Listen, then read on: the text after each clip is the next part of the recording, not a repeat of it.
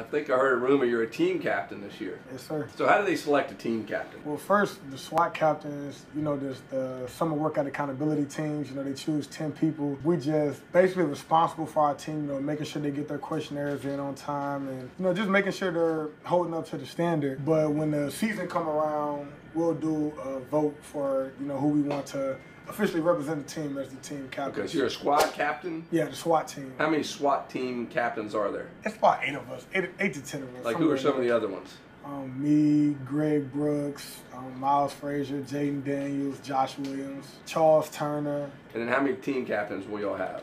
We will have four team captains. Do y'all vote like write it down on paper or yeah, how you vote? Write it down on paper, turn it in.